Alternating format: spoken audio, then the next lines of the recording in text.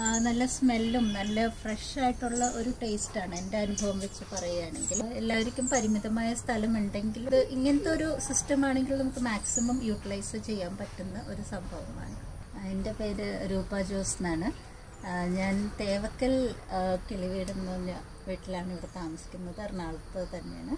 അപ്പോൾ സോയിലിൽ ഞാൻ കുറേ നാളായി പരീക്ഷിക്കണ ഈ ഇലവർഗങ്ങളും കാര്യങ്ങളും ഒക്കെ പെസ്റ്റ് ടാക്സ് ഒക്കെ കൂടുതലായ കാരണം ഞാൻ ഇതിലോട്ടാണ് ഇപ്പോൾ ഹൈഡ്രോപോണിക്സിലോട്ട് തിരിഞ്ഞപ്പോൾ നല്ലൊരു റിസൾട്ട് കണ്ട കാരണമാണ്. ആവശ്യത്തിൽ കൂടുതൽ നമുക്ക് ലീഫി വെജിറ്റബിൾസ് കിട്ടുന്നുണ്ട് വീട്ടിലേക്ക്. ഇത് ഞങ്ങളുടെ ഹൈഡ്രോപോണിക്സ് രീതിയിൽ സെറ്റപ്പ് ചെയ്ത ഒരു സിസ്റ്റമാണ് ഇതിൽ നാൽപ്പത്തെട്ട് പ്ലാന്റ്സ് നമുക്കിതിലേക്ക് വെക്കാം. ആ, ഇതൊരു ആറെട്ട് വെറൈറ്റി ഇപ്പം തന്നെ പ്ലാന്റ്സ് ഞങ്ങൾ വെച്ചിട്ടുണ്ട്.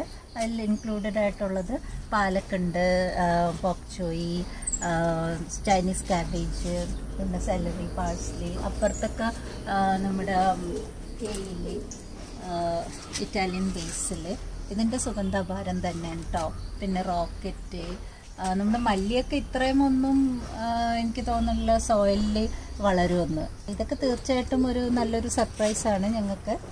റോക്കറ്റ് ഇതൊക്കെ വിളവെടുക്കാറായി. ഇതൊരു ഒരു മാസത്തിൽ കൂടുതലായി. ആ, ഞങ്ങളിപ്പം മേടിച്ചിട്ട് നല്ല റിസൾട്ടാണ്. പിന്നെ പെസ്റ്റ് അറ്റാക്സ് ഒക്കെ വളരെ കുറവാണ് ഇതിൽ നമ്മൾ ഇടക്കൊന്ന് നോക്കിയാൽ മതി. പിന്നെ ഈ റിസർവയറിൽ ആണ് ന്യൂട്രിയൻ സൊല്യൂഷനൊക്കെ നമ്മൾ ഒഴിച്ചു കൊടുക്കുന്നത് ഇതിൽ പമ്പ് സെറ്റ് ചെയ്തിട്ടുണ്ട്.